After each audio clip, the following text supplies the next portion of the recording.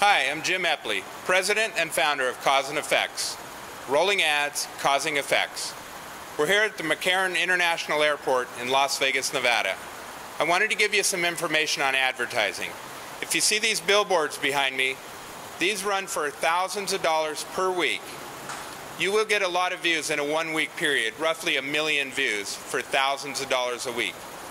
Now our advertising, we typically put it on a vehicle such as this over here.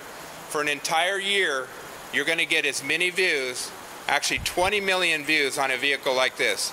30 to 70,000 views per day, and you're going to have your own driver passing out your promotion, your business cards for the cost of one billboard for a week. You're going to have this vehicle for an entire year.